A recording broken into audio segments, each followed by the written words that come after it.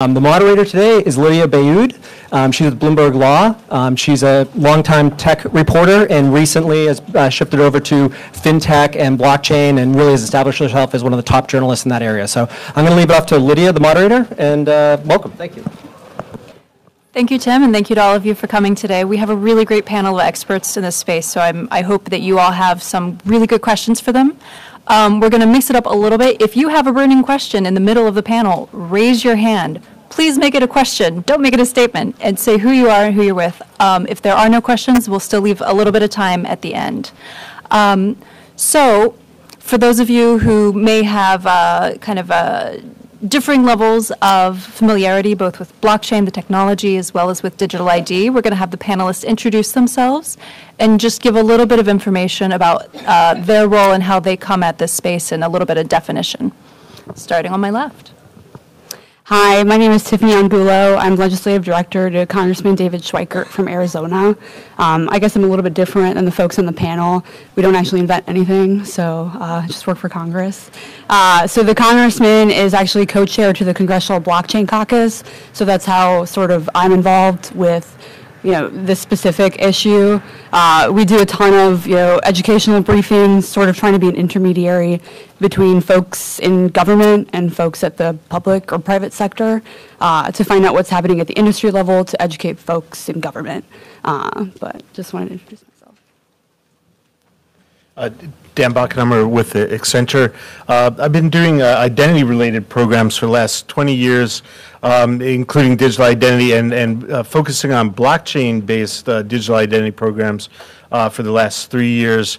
Um, uh, apart from being a system integrator, uh, I'm also on uh, ISO standards um, and other standards committees. ISO TC 307, for those that want to know, is the blockchain standards, but there's also others like World Wide Web Consortium, W3C standards, and other affiliations like the Decentralized Identity Foundation that we're involved with. Uh, hi, I'm Amy Kim. I'm, the Chief Policy Officer at the Chamber of Digital Commerce. We're a blockchain trade association. Uh, we've been around for five years. We have over 200 members that span all aspects of the blockchain ecosystem. So, from financial services to um, energy to ID to healthcare, um, you name it. Um, so, we do look at it from that kind of holistic uh, perspective and promote the acceptance and use of blockchain technology. Hey, and James Cross from Workday. We're an enterprise software company. We provide human capital management software to around half of the Fortune 50 and nearly half of the Fortune 500. Um, I lead on product strategy for Workday Credentials, which is a new blockchain-based digital credentialing platform focused on workforce and skills and talent use cases that we announced a couple months back. Hi, I'm James Shook. Um, I'm from the National Institute of Standards and Technology. Um, we approach blockchain from original research. We we see that there's a, a, need for education in the government and, and you know, economy in general. So uh, we've been producing uh, white papers and IRs and other uh, original research papers. Uh, one in particular that we may talk about today is uh, taxonomic approach to understanding emerging blockchain identity management systems. Uh, so, just a reminder to the panelists: speak close to the microphone when you speak. It's hard to hear you a little bit at the end, James. So um, I'm going to do a really informal poll of the audience. How many of you care about privacy? Raise your hand. I kind of hope all of you raise your hand, but it looks like most of you are. Um, how many of you wish you could have better control over, uh, you know, all the information that's out on you digitally or kind of out in the world? Awesome. Okay. So keep that in mind, I think, is uh, with everything happening in Congress, as I'm sure most of you, if not all of you, are aware may actively be working on, um, the privacy debate, I think, is a really interesting one being introduced into the notions of a blockchain technology as applied to digital identity. Um, I'm going to ask Amy just to give us a little bit more of a, a, baseline on the difference between blockchain, crypto, and what we're talking about here as it relate the good good news or bad news depending on your perspective is we're not going to talk about crypto we're really focused on blockchain and digital id um, so amy why don't you start sure um, so you know blockchain is is a technology um, and it really combines um, some things that have been around for a long time. So you think about ledgers have been around for centuries. It incorporates cryptography, which we've also been, you know, for decades. Um, you think about public key cryptography, uh, again, you know, something that's been around for quite a bit of time, but what it does is combine them together in such a way that you can now connect parties who may not necessarily know each other or um, know each other well enough to trust each other that they now can trust each other with the kind of the cryptography and the other mechanisms that are in place um, to enable a trusted system um, to be out there. So the first one, you know, the first blockchain implementation that we saw in 2010 was the Bitcoin blockchain. It was a peer-to-peer payment system. So everyone thinks so. You know, they sometimes can conflate the two, Bitcoin and blockchain. Um, but if you think about it, you have the blockchain as your kind of base layer, and then you can develop applications on top of that type of software. Um, and one analogy that I like to use to help make people under, help people understand it a little bit better is, if you think of um, Bitcoin, isn't really a coin. It's more of like a packet, a file, or a packet of information is the analogy I like to use. And so that packet for Bitcoin is, is a Bitcoin, but it can also be other things depending on how you architect the software. So it could be the title to a car that you track the ownership changing hands over time. Um, it can be ownership, or it could be um, uh, a university uh, credential or a degree that you can track over time, or it can have identifiers as to who you are. Um, and that's, I think, what we're going to talk about today. Dan, I'd like to turn to you. So, um, identity solutions, I guess, are not new, but there's some questions around what a digital ID is and what it could be, particularly when combined with blockchain technology. Can you tell us a little bit more about um, where you come at this issue? Sure.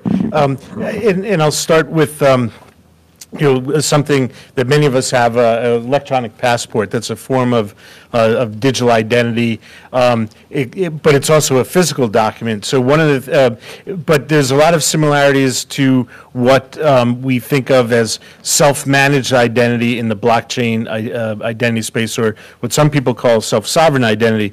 Um, but, uh, so within your e-passport, there, there's a chip that has digital information, um, biographic and, and biometric, that's signed by the issuing agency. So our US passports are signed by the Department of State. When we move over to blockchain-based i- identity, um, there's uh, some things that are very similar, that in my digital identity wallet, I will have one or more of these attestations, these, um, these uh, identity uh, attributes that are signed by a, a- a trusted agency. And I can um, uh, share that information under my control to a relying party, another country, another um, uh, a, a private entity. And what the- main difference is, um, with an e-passport, if I shared that information with another country, they would go to a central repository, a public key directory, to check the signing certificate, uh, to make sure that the document is properly signed and it hasn't been revoked. With blockchain-based identity, that relying party uh, that I just shared, one or more um, uh, identity attributes, would go to the blockchain to check that it's properly signed, hasn't been manipulated, and hasn't been revoked. But that's the biggest um, uh, uh, use of blockchain for that decentralized digital identity. Lydia, Dan, if I could build on what you just said, I mean, a, a way to think about that too is identity right now is, um, when you think about passports and things, it's, um, it's really dependent on third parties saying who you are, and they're siloed, right? So you're talking about the State Department with the passport, your social security number, your state driver's license, maybe, you know, as I was talking about, maybe your college degree. Um, and those are kind of third party um, validators of who you are uh, for that very specific purpose. And even now, there's kind of these new ideas about who your identity, what your identity is, um, like how many uh, LinkedIn connections you have. You know, these kind of social networking identities that we're building. Um, and I think what you're saying is we're kind of shifting that balance now, trying to bring all of those third parties, all those external indicators into the person who the identity is about. Is that is that fair? That's right. So my identity wallet could have hundreds of uh, attestations in it. There's no central repository, no big brother that has all those identity attributes except for myself. So I want to turn to uh, Dr. Shook, James. Often having government involved in finding use cases for technology um, is very important to a technology, I think, taking off in the marketplace and among consumers, consumer acceptance. You've done some research into blockchain. Um, how are you coming, blockchain and digital ID, how are you coming at this space and, and what do you see? Maybe just inform the audience kind of what, what is NIST's role in advising on this topic And identity management in particular, or? uh, related to your research, yeah? Okay, to the research. Okay, so um,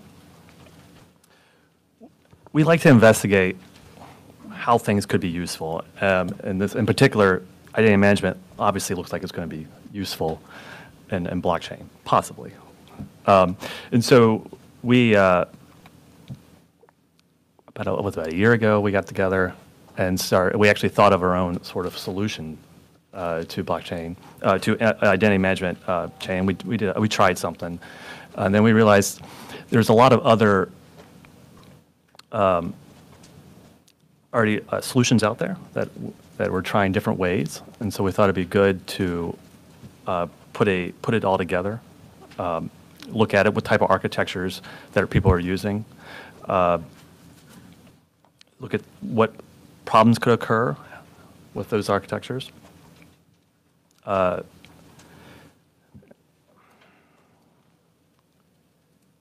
is this the, I'm, I'm trying to figure out if this is the question that you were.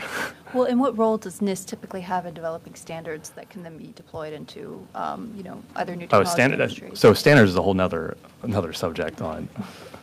So we're, we're, what we're doing here is just research, exploring it and trying to educate on here. We're nowhere near setting up a, a standard, a government standard, but we are working with standard bodies like W3. Well, oh, we are uh, observing members of W3C and um, For those who don't know what W3C is. uh, the World, Wi- uh, World Wide Web, uh, World Wide Web Consortium is the W3C. I think, Dan, you said you were participating in there. And I think you guys are also, yeah, uh, participating in that. Um, So we're observing members of them, and w- we talked to um, ISO, we're doing, we're doing work on some ISO stuff. So there are people that, that do that there. Uh, So in terms of s- standards, I don't think we're, we're ready yet to actually standardize anything. This is the first exploration for what, how the technology could be used for blockchain. What are, what are the methods people are doing now? Uh, And uh, What are, what are the most kind of, uh, can you give the audience who haven't read the report, kind of what's the, the top line findings? uh, the, in the top line, like, if it, is it useful? Yeah, so uh, there are companies out there like Workday and uh, Uport who are, who believe this is a useful thing. Um, I'm sure you'll hear, hear that from them. Uh, Our perspective is, uh, we're not picking any, any winners here, right? We're just looking at what they're doing, reporting on what they're doing, uh, guiding on, we're not really saying pluses or minus, we're just telling you how they could be used. Um, And, you know, so there's some pitfalls in the back and some of the technologies that still need to be develop, developed, like in the back, you know, so, so how, I- let me just go through how this possibly could, this would work, right? So you're going to create an identity, and that can be done many different ways, right? So you have, you could use, the simplest thing is just to create a blockchain address and use it. You don't necessarily do that. I think you guys use, you're on top of Ethereum. Um, we use Hyperledger Fabric. Okay, all right, okay. So, um, or you can create an identifier, and there's many different ways you can create that identifier. You could have the control yourself, or you could have a central repository that's on the blockchain, sort of the, the monolithic um, uh, control of everything, sort of what we have now. Like if you have a federated uh, solution, uh, Google and Amazon are federated solutions, right? You could use one ID to sign into many different places. You could set it up differently in, uh, in the blockchain. Um, so you set the, the ID, you get the, you can create these credentials, so these issuers can come and create credentials uh, on your behalf, you can ask them to. Um, And you can present those credentials different ways. The- One of the good things about blockchain with it, in general, it makes things, it might make things easier in terms of identity management, right? There's, right now, almost everything the blockchain can do is already, can be done in the, in traditional way. The blockchain might have to bring the opportunity to making these things a little easier. Uh, Another, uh, another advantage here is, so let's say I create a presentation of my credentials. I can choose what particular, uh, uh, let's say I go to a bar and there's a, a bouncer, and I'm, I want to show that I'm 21 to get in, right? All he has to know is I'm 21, so I can present it in a way that I don't have to expose any other data. I don't have to give him my license. I can just expose that I am 21, and you know, we can do this in a cryptographic way, right? Um, so that's the type of presentation you can do with it. Uh, what what I think you guys were talking about earlier was uh, on rev- revocation. I think in the blockchain world, revocation is actually a really powerful thing to do there because it's a central spot that you know what you can look at all the Can you different ex- changes. I'm sorry, can you explain revocation? What do you mean exactly? Uh, so you're giving, uh, let's say, you have a license, you get pulled over for reckless driving, and they take your license away. Right. So you can also do that for many different types of, of credentials. Right. The the issue is a reliant party or issuer would have to go through intermediaries most likely to revoke that, or the relying party or the, or the person who's going to accept the credential uh, would have to sometimes have to go through different pa- parties. Where the blockchain comes in nicely is that there's one spot they're going to look at it, and those things are done quickly. Uh, James, from, from Workday, I'd like you to come in. I mean, how do you see this applying in the, the, the work environment? Yeah, we very much approach this from a functional perspective, looking at the future of the workforce and the problems that we saw our customers were facing as they managed their workforces and the skills and, and compliance of their people. Um, so when we look at the workforce of the future, we see from our customers and hear from them that it's getting increasingly complex. Our customers are dealing with different types of labor. They're working with gig workers. They may be working with more contractors and contingent workers than ever before. Um, just full-time employees might be coming in and out of the organization much more frequently. And so the workforce itself, is getting more complex. And at the same time, we saw that they still needed to make sure these people were who they said they were.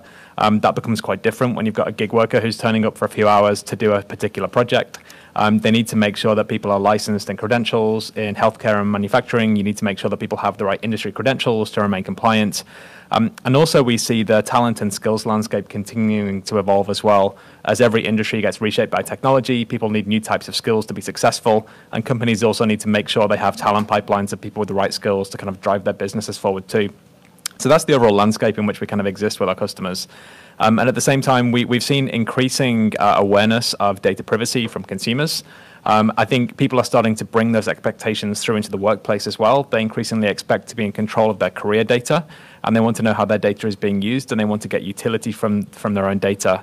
Um, and also, we see our customers, um, um, and also, we see um, new technologies like blockchain really maturing to the point where they can start to support enterprise applications. Uh, and so we saw an opportunity to use some of these new technologies to solve some of these problems for our customers, but also to do so in a way that puts users in control of their data. And so that's really where we started out. Um, we've had a team of around 40, 50 engineers working on this blockchain-based credentialing solution for about two years now. Um, we finally were able to talk about this publicly in October at our annual conference, um, but we've been even in stealth mode inside of Workday for quite some time before that. I think when we looked at the blockchain space, um, we, we've seen lots of press releases, lots of proof of concepts, but what we hadn't seen were very many examples of blockchain being used at scale in production to solve real problems. And before we announced anything, we wanted to have real technology that we could demonstrate. And we were pleased to issue uh, a few uh, 10,000 digital credentials at our annual conference. And we're excited to actually get this platform and the accompanying wallet application, which is called WayTo by Workday, um, into the hands of our, our, our customers and their people early next year. Um, Tiffany, I'm, I'm going to come to you, but real quick, I mean, so you mentioned you've been waiting for this technology to mature and you've kind of rolled out, uh, sounds like many different things. So I take it, a digital wallet, is that something that people would be able to put on their phone and kind of interact with that way? Um, yeah, so w- w- we've launched, uh, what we've launched has really two components to it. We have an enterprise platform called Workday Credentials, which allows our customers to issue verified digital credentials. And, and Workday really is a kind of gold standard system of record for over 40 to 42 million employees. Um, we have the, the skills they have, we know which learning courses they've completed, we have records of their employment. And so we can allow our customers to issue digital credentials directly to those people representing um, the things that they know about them as an employer. But it's also a platform that allows third parties and other organizations to use the platform to actually issue digital credentials too. And then once those credentials are issued, um, users can use our wallet application, which is called WayTo, to actually claim those credentials, securely hold them in a way that's uh, locally encrypted on the device, and then to share them as part of transactions, for instance, when they want to apply for a job, or even when they want to prove their employment and income as part of maybe they're applying for a mortgage or applying for an apartment rental. So they get complete control over which data they're sharing, and that third party can verify through blockchain that that data is digitally signed, that it's valid, and that it hasn't been revoked as well. So it's really a case of giving people this new portable career identity in which every credential within there is, is, is verified and can be trusted by third parties and, and used in the real world in a way that benefits the individual. Well, I'd love to hear a little bit more from some of the other panelists too about sort of real world applications that consumers or businesses or, or industry might uh, be looking at, or government. Um, but, you know, maybe any of you, if you want to address, but kind of what are the steps that still need to happen for you know, you, it's interesting that you mentioned proving your identity. You know, if you apply for a mortgage, do you need the banks to accept that form of identity? I mean, what else needs to happen for this to really reach scale in the marketplace? Right. So uh, there's certainly a, a lot of uh, governance, uh, uh and and as as you're pointing out, um, uh, there's there's human trust and there's uh, there's technology trust. So blockchain more or less solves the technology trust as long as it's it's properly architected with the right security and privacy controls. But the the governance is where you get the the human trust. Um, I'll use the e-passport again. My my U.S. passport, when I travel overseas, there's a certain amount of trust in the, the Department of State did their job in doing the identity proofing and and, uh, and asserting that that this this person uh, uh, whose information is in here is Dan Bachenheimer. Um, well, if I have uh, an attestation from Workday, as, as, was just said, well, if there's 42 million uh, employees, that's an ecosystem where they have that trust within that ecosystem. Now, if I'm going to produce um, as we're doing with known traveler digital identity, um, uh, an identity attestation um, that's going to be used for travel similar to an e-passport, but also is going to be used by the private sector, by airlines. And the airline can put a boarding pass attestation in that, um, in that document. Well, who else is going to um, uh, trust that? Um, right now, when we go to a duty-free shop in the airport, you have to show a, a physical boarding pass. Are they going to um, trust that, um, that electronic boarding pass um, or hotel affinities and, and using um, my digital wallet to hold those or the ed- educational um, assets. So there's got to be some sort of um, uh, trust, but there's also got to be, uh, has to be some sort of regulation um, like eIDAS in, in Europe that, that trusts that, that puts into law that digital certificates can, can be trusted. Um, when Estonia created their national ID, the first thing they did was not touch technology. They wrote a law saying that, um, that a certificate-based claim will be accepted in the public and private sector. Can you define eIDAS? Oh, eIDAS is the electronic ID um, uh, and uh, uh, support services, something like that. I forget. Yeah, yes, yeah, right. Um, but it's it's it's to harmonize. Uh, in Europe, uh, each country has an identity card, and what they were trying to do is is harmonize so that if I have a whatever a French identity card and I want to uh, open up a, a, a bank account or get employment in Germany, that Germany will be able to accept that. So they created this ecosystem, a trust network that uh, allows for that interoperability. Tiffany and Amy, you know, it's it's interesting to hear what Europe is doing, and, and there are many uh, countries and kind of supranational entities that are looking at digital ID uh, for many different use cases. Everything from uh, preventing terrorism and tracking down illicit finance to kind of more mundane stuff about just proving who you are for applying for a job. Um, what do you two, you know, since you both interact or are on Capitol Hill for your for your jobs, how do you view um, kind of what's the tenor of the conversation around this issue right now, and where do you think uh, policymakers or, or regulators um, need to kind of be exploring? Uh, so I think education, we still need a lot of education to be done, especially in Congress. And so we've tried to do a bunch of briefings. So the blockchain around uh, blockchain caucus We've actually done uh, a identity roundtable. Actually, we had NIST come. It was great uh, to sort of see where industry was and sort of where government is, and you know through that, and we've done a bunch of them since then to kind of see. And there are actually a bunch of government agencies that are super interested in using blockchain technology for different forums. Um, but I kind of wanted to back it up like a little bit on you know why blockchain. Uh, if you and my boss specifically wanted me to talk about this, right now, everybody in here, you're when you go to college, they hold all your information. When you go to a doctor's office, whether that's a dentist, you know, a primary care physician, wherever, they all hold your information in separate entities. As well as, you know, if you want to go, I'm applying, I'm trying to like buy a house. I can't tell you how many times I've had to give my information, several different times. So you're putting trust in all of these entities right now that, you know, how many hacks have we had happen? And so it's, you know, you're right now are putting trust in all of these things. And what we're excited about blockchain is that it has the potential, as we're seeing, with you know some of these cool tech like you know companies as well as even other countries that are doing it is you're empowering the individual and so that's what we're super pumped about um, and so that's what we've done like these roundtables and these briefings to sort of show you know blockchain is going to be able to help you have more say you know in a permission network you're able to have either explicit or implicit you know permissions and there's different ways that you can do that and nist has an awesome report that i'm still reading through because it's really long and awesome great but to talk about different kind of blockchains. And so, you know, our job, at least from where I sit, is to make sure that your mind is open, that there's a lot of really cool stuff happening. Um, I found out last month that out of all the countries that you think are ahead on this specific issue, Bermuda has a digital ID right now that is going to allow their uh, citizens to eventually pay taxes using their digital ID, uh, as well as Catalonia. Right, we're not even having this conversation nowhere near at that level right now. And so my sort of role right now is to continue to try to open up, you know, the folks up here, their minds on this specific issue. But um, yeah, I mean, going back to your original question on legislation, so yeah, you know, we can pass really cool bills, but we're not having the discussion.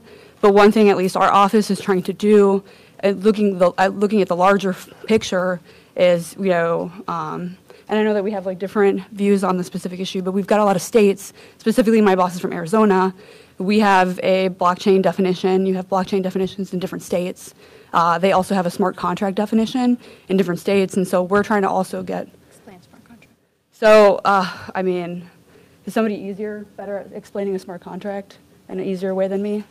It's a, kind of a technolo- technological solution that is like an if-then scenario. So if a certain set, data set happens, then something else is automatically programmed to happen. So Yeah. not on a blockchain, you can think of like. eBay. Deposit, you Oh. know, your- Your mortgage, right? like, Yeah. the First of the month, thousand dollars. Oh, I'm Sorry, I thought my, so like on the first of the month, you know, January 1st, February 1st, $1,000 will be taken from my account and go to Citibank or Bank of America. That's, that's kind of what a smart Yeah. contract is. A smart contract on a blockchain can do much more complex, and then it uses typically a virtual currency type mechanism to make some payments. But that's, that's kind of how you could think about it. Yeah. Um, and so we are trying to have, so my boss last Congress, and we're going to be reintroducing uh, this Congress as well, a, uh, last year it was HR 7002, Blockchain Records and Transactions Act. Uh, so again, we want to bring clarity to that specific issue and just try to get ahead of it and start having the conversation on there's a ton of different kind of varying views or varying definitions on this. And to make sure that we don't because especially as technology advances and our my boss is a super big proponent on you know we need to have future proof tech future proof legislation. And so we want to make sure that you know especially in this space we don't have you know having different standards at different states doesn't impede you know transactions or different smart contracts to occur across state lines um, so very long thing.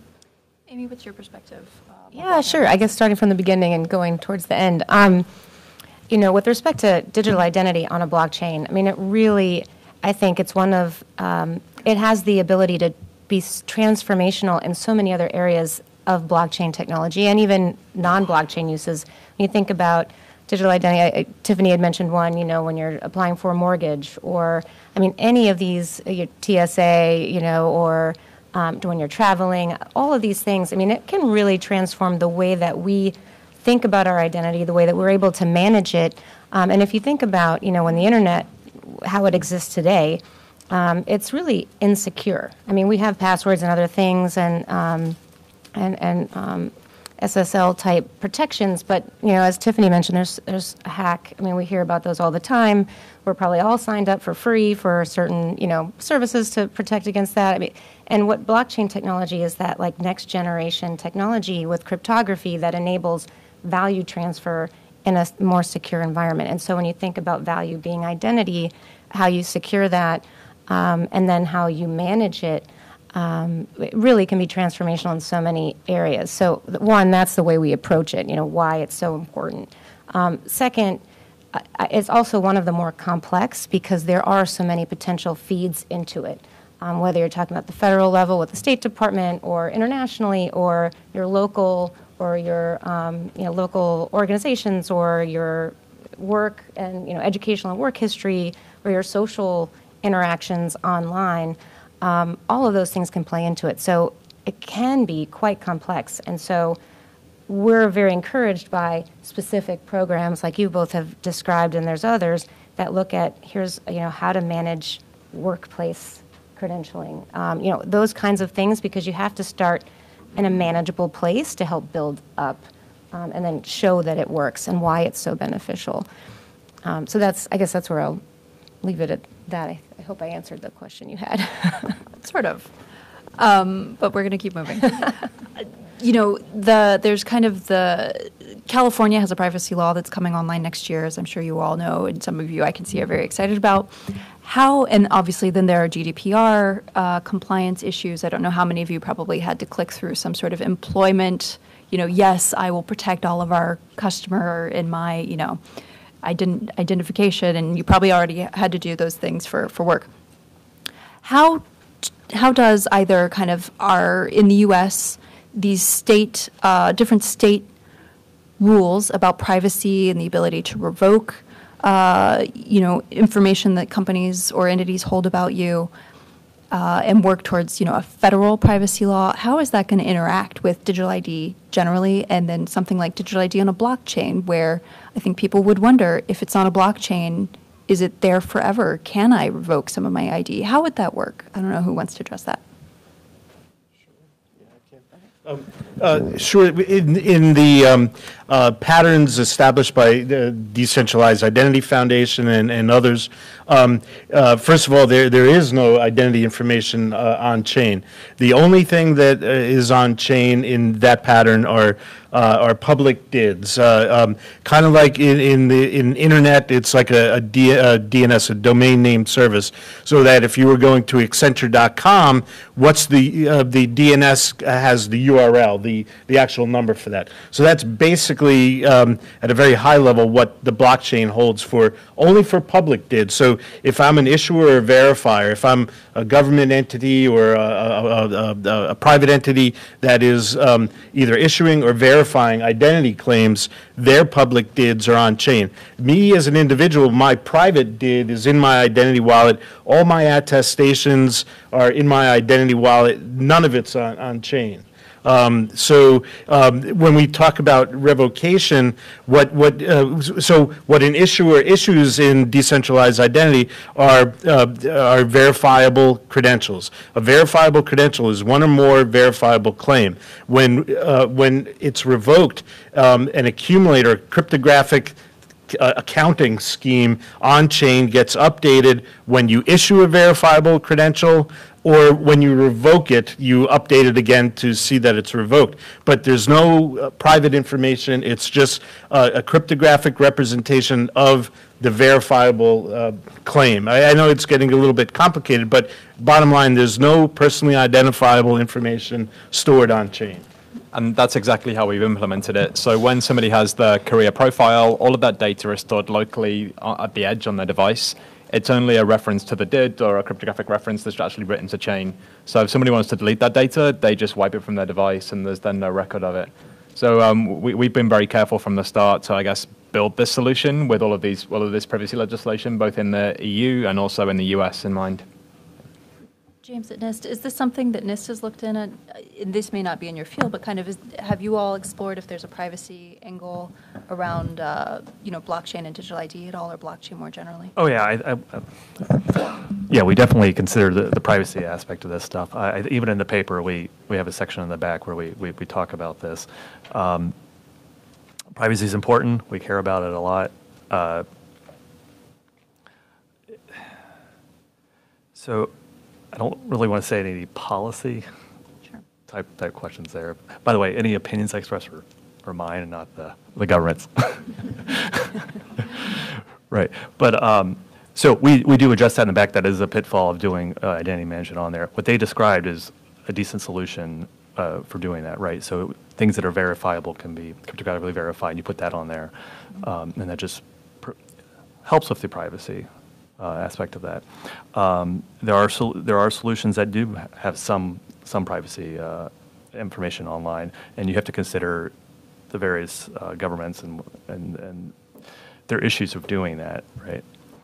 Uh, We, this paper doesn't focus on the privacy aspect, we just sort of go through the, what the architectures are, um, and we let the, the companies figure out how they're going to abide by the laws, but we do point out that there are laws and um, other concerns, the government's concerns. For instance, if you have a contract online, on, on the blockchain that governs your, um, your solution, and you want to update it, who can update it? How's that going to work? There's all sorts of issues on that. Thank you.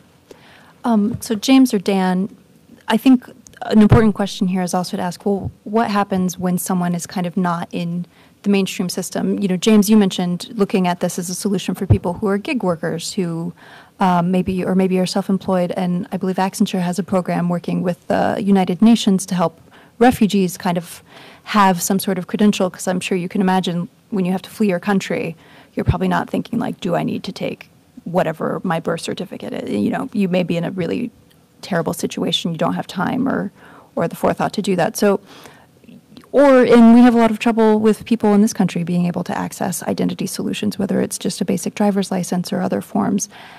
You know, have you explored how this can be used to help people who either are in, in stable work conditions, in stable kind of living situations?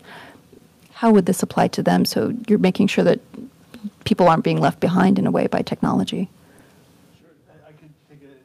Uh, initial crack at it, but, um, right, so in, um, uh, in the ID 2020 uh, uh, prototype that, that uh, you mentioned, um, the, uh, the idea is that if you're a refugee getting processed by, by the UN conceptually, you- whether you had documentation or not, you, you would be biometrically registered and then provided a blockchain-based identity that as you um, got immunizations or education, you could get all these attestations and then ultimately, you know, potentially get, uh, get employment uh, based on the, the, the fact that you could prove your identity, prove that you're immunized, prove that you have some skills. Now, um, but that, even that, that prototype that we did uh, was uh, a device-based, a, a smartphone-based. So what if they don't have those type of resources? So um, there's a, a, this concept of custodianship. So you, um, so in, in an example that we have not implemented this, but an example, an entity like the UN could be a custodian. They could have, uh, let's say, a cloud-based um, uh, identity wallets for n number of, uh, of refugees. Uh, and only the refugee would have the ability to access that information to share it with um, an employer or something like that. But the UN would be a custodian uh, in that example, but would not have access to that information. Yeah, and, and we think these technologies could actually be most impactful for people who aren't very well served by the traditional education system today. So if you think about maybe a worker in a fast food restaurant who likely doesn't have a college degree, um, we were actually working with a, a large national fast food chain as one of our design partners for this solution, who actually wants to create a culture of learning uh, for their employees. They want to attract talent, they want to retain talent, they want to upskill people while they're with them, but they recognize that people likely won't be with them forever. And then they want to send them out into the world afterwards with credentials that actually have some utility, that help them show the, the skills they've gained, that help them get their next job. And that actually, everybody benefits there. The employer benefits too, because then they're creating a great employer brand of an employer that kind of cares about people, helps upskill them during their time with them. And the employee obviously benefits too. And so uh, w- we see kind of use cases right across the workforce spectrum, but we're partic- particularly excited by um, by, by those kinds of use cases. Um, we also have a new technology called Skills Cloud, which is a common set of 55,000 skills that all of Workday's customers and all of our applications across our platform now speak. So that becomes really powerful when you have people earning these credentials that have skills attached to them that they can be used to uh, be matched to opportunities and to apply for jobs. And when they apply for a job with this new digital identity through Workday Recruiting or another recruiting platform, the hiring manager or recruiter can actually see, yes, I know this person has this work history. I can verify that instantly. I know they've gained these skills. I know they've done this learning. Um, hopefully, that will uh, kind of reduce the, the time to hire and actually getting people getting people set up in organizations too. And if I could chime in, so another example my boss is super interested in exploring is the homelessness issue. So in Arizona, we have actually, it's like uh, a huge shelter that uh, folks can come in. I mean, if you're homeless, I would imagine you're going to be losing your ID several times, and having to authenticate yourself every single time is going to be an enormous burden. And so, one thing that they're trying to do at that specific shelter, they're not using blockchain so we're hoping that maybe that could change, uh, is to start giving printing IDs and having the IDs attached to the person.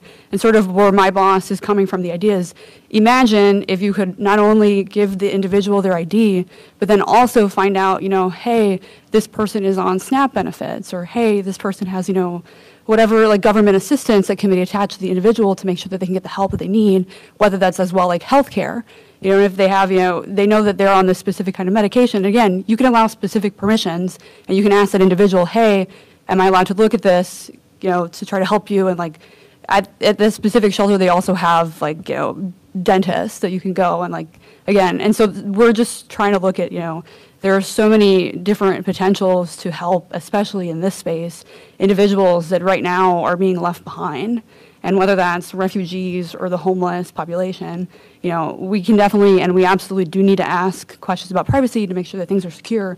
But right now, there is a potential solution to this, and we want, you know, again, from where I sit, to make sure that people have an open mind on this is a technology that can potentially solve this problem. So. So I'm going to open it up to questions very. S- oh, we have a question. Go ahead. Please say your name and who you're with. Loudly. hi, i'm alan mcquinn.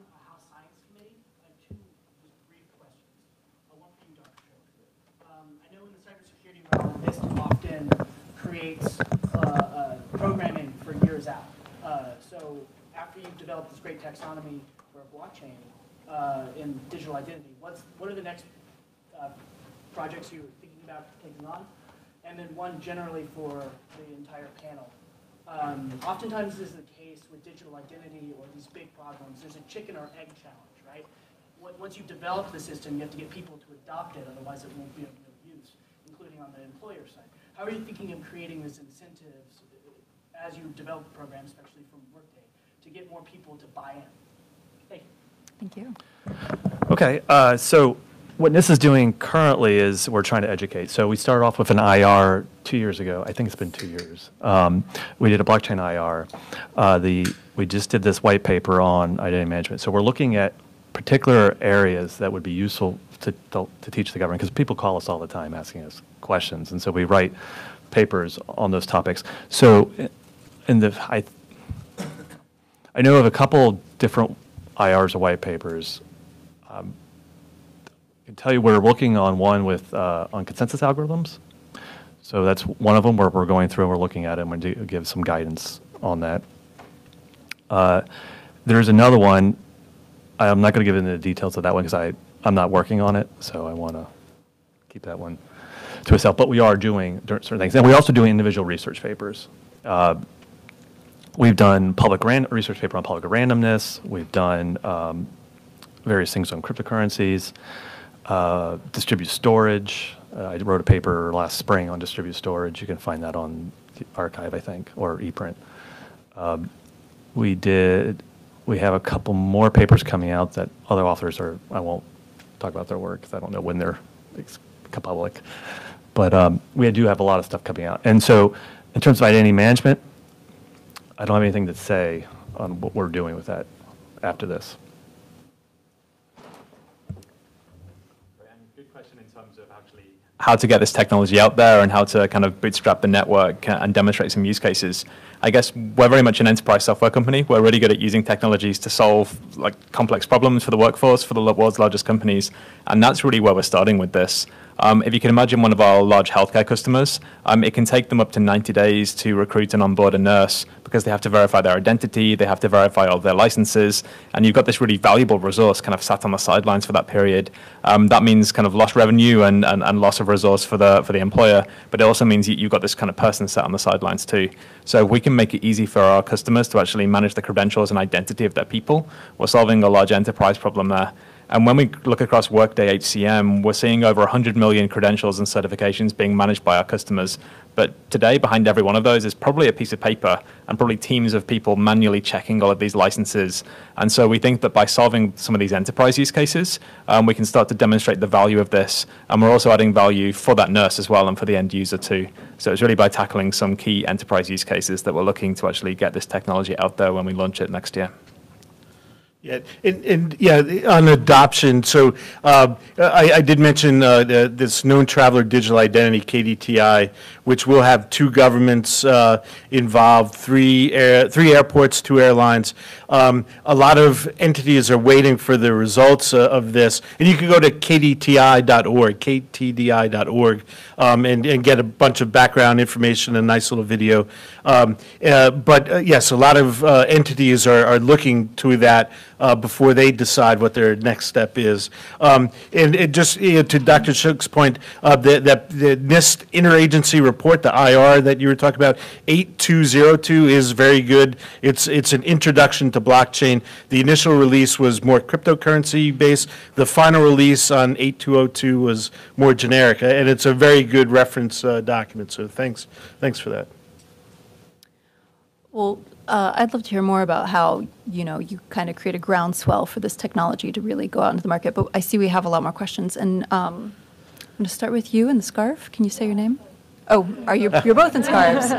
Red scarf, and then we'll go to green scarf. Um, so I, I guess uh, frequently in these sorts of talks about blockchain and emerging technologies, there's a focus on the technology's capabilities.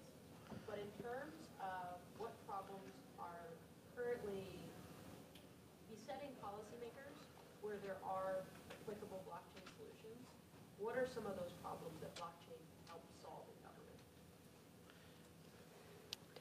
So uh, we've learned about like a number of different uh, government applications that I would imagine that most Hill staffers have no idea. So we learned the hugest one that I love to talk about is uh, HHS has a blockchain for uh, purchasing data, for all the purchasing that they do. So it uses AI and blockchain to essentially the program is called like Buy Smarter. Um, and essentially they're able to find out, you know, what the cost of a specific good is over time. And so using the program, they were able to figure out, and my favorite example is latex gloves. They were able to figure out that at any given time in any contract, you can pay 4 cents to 59 cents per glove. That is a huge variation.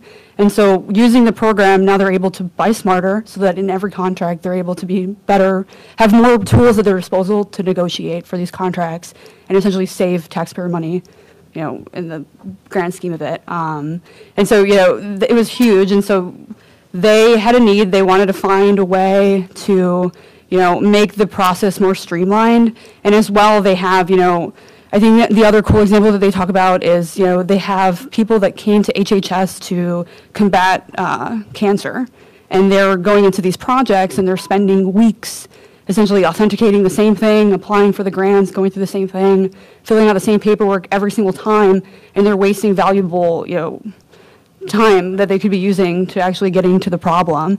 And so now they have this program that is able to even streamline that process where once you fill out the information about, you know, what you're looking for, you don't have to do it every single time, so you're cutting the time of paperwork. Um, and so like again, you know, going to like what Workday is doing that we're super excited is credentialing in our district, you know, super big healthcare base. And I can't tell you how many times we've had people come in that they're like, we have a workforce shortage and we need people to come in. And then when we do have people come in, it takes like six weeks to onboard them because we have to call every single thing to make sure that everything checks out. And it's how cool would this be to literally have the credential attached to you so when you go and apply, you can be like, here's all my stuff. And I can get you to work much quicker and you can go to helping people much faster. So if that helps answer. Anyone else on the panel have some thoughts on that? I wa- I was going to say something very similar. So HSPD 12 got us the PIV card, right? Uh, Our personal identity verification. But that's all it can do, right, is identi, uh, is verify uh, I'm Dan. It doesn't say oh, that I'm certified to, you know, uh, as a first responder or this or that, right? All those credentials, all those attributes are not on that card. That's one of the things that, that, that blockchain and this type of uh, uh, identity-based blockchain can do. All those attributes associated with the individual travel with the individual. Lady in the green skirt? yeah. Laura with Accenture Federal. Uh, Dan, do you see blockchain replacing um, physical passports? Um, I, I, yeah, so uh, technically, yes, but um, even uh, ICAO, uh, International Civil Aviation Organization, the UN entity that defines passports, uh, has defined uh, the digital travel credential. It's, it's similar to what we're talking about here. It's not blockchain-based, but even that, they're going to have a, a digital travel credential, but you're still going to be required to have a physical credential with you. Um, I think it's similar to what we see with mobile driver's licenses in the pilots today. Yes, you might have a phone-based driver's license, but I think for the next several years, you're still going to be required to have a physical document with you. Purely for comfort and adoption issues? Yeah, and, and technology issues. What if you don't have um, uh, access, right? What if your battery dies, or, or the police officer's battery dies, right? To check your, uh, your digital credential. Sir, please. Uh, So, Your name and who you're with. yes, uh, I'm Amit Sharma. I'm, uh, I'm Southern Florida. I'm a software enthusiast. Uh, My, my question is, in the age of quantum computing, which is a new way of computing, uh, the prime numbers and the factoring for prime numbers, which underlies the entire security and tamper-proofness of a blockchain, are are, are- are, there some threats wherein quantum computing could come in and say, well, you know what, I can actually crack the security and I can tamper those records, and, I- and I, and I can do it in real time. Looks like Google's quantum computing initiative has made some pretty significant progress. Uh, a- Any thoughts from technologists on the panel? Yeah, Dr. Shook, I don't know if you want We're all looking at to take you. a crack. So, uh, as you know, NIST is holding a, uh, a NADA competition on uh, quantum cryptography in the few, so it's going to be a few years before we get a, an answer on that. Uh, we do talk about it briefly in the, in the paper that, as, as an issue. Um, a lot of these things, these public key cryptography things, should be replaceable when there's uh, these quantum algorithms come out. You should just be able to stick it in. and Not too worry about it. Yeah, and and I'll just be really brief. One of the reasons why we're not putting PII, including encrypted PII, on chain is, is partly because of that, because you will be able to decrypt it, uh, uh, most likely, but that's one of the reasons why. But it's only public information that's being stored on chain. Sir on the green sweater. Porter Adams, unaffiliated. So James mentioned the importance of like the right to be forgotten, and so if I wanted to delete like part of my identity, I definitely could. But my concern is what happens if like I accidentally either lose my private key or like more maliciously some sort of ransomware comes along that starts taking people out. And maybe the United Nations solution, the custodian's better, but still like what happens if someone loses their private key to their digital identity? One, kind of related scenario we've been building for is what happens if somebody loses their phone or destroys their phone or gets a new phone. Uh, so the way we've tackled, and when we talk to end users and consumers, that, that's the most frequent kind of scenario we see coming up. Um, so the way we've tackled that is having, when they sign up, they're able to create a cloud encrypted backup of their credentials that's signed with their private key. Um, there is an open question around what's the best way to get people to kind of be able to restore their private key itself. Um, we've settled on using passphrases right now, but we recognize there's lots more work that needs to be done around that to make that usable to a broad, broad selection of the population. But that, that's a really interesting question. Uh, yes, you in the back. Colin Gorley with the U.S. Copyright Office. Steve, you mentioned that uh, Bermuda is already adopting blockchain, and of course, they have a much smaller population. So I guess I'm wondering if um, blockchain was adopted broadly on a state-by-state level, if you see challenges in states offering reciprocity of like, knowledge transfer. Yeah, and I mean, that's why we're trying to like get that conversation even going, you know, with sort of the bill that we're trying to pass, where it's like essentially adopting, allowing, you know, uh, signatures, what was it? Signatures, records, and smart contracts to be sort of, so it, and the bill itself would be amending e-sign to essentially have some of that, you know, like preemption within the states. Um, and we've been like crafting that carefully. My boss from Arizona, so we're super libertarian, so we don't want to tell a state what to do. But there are states that are way ahead, and we don't want to hinder them later on if what for whatever reason. Um, but yeah, I mean, at the end of the day, so I not necessarily with like the digital identity space, but Arizona passed a uh, fintech sandbox. Super great, awesome, killing it. But we've had even a district company move overseas because at the end of the day, you still have to like adhere to the federal government. And so they didn't get enough clarity, and it was going to be too complicated and too expensive, and so they had to move overseas. And that is not what we want to see. Um, and so, you know, the states can do a bunch of really great stuff. Arizona's been trying to lead on that, but at the end of the day, we need to have the conversation here as well. So. So I think we have time for one more minute, and I want to see if anyone from this side of the room. Oh, there, I couldn't see your hand. Please, sir, uh, can you stand up and say who you're? who you're- Yeah, my name is Todd Miller, uh, Chrome Away, for a blockchain company. But uh, question for the panel in terms of this challenge between permission and a public network. Because I guess the fear is, is that if we um, sort of solve the solution through an enterprise system, we're still going to develop the same sort of balkanized uh, kind of walled garden of identity data that we have today. And I don't know, folks are sort of wrestling with this issue, they thought about how to, how to uh, sort of address this problem. Yeah, so I, I could start. So I, I think of it in four dimensions. So there's public and private, and there's permission and permissionless, right? So public versus private is who can access uh, the chain, and permission versus permissionless is who can update it. Okay, so two different dimensions there. So Bitcoin is public and permissionless.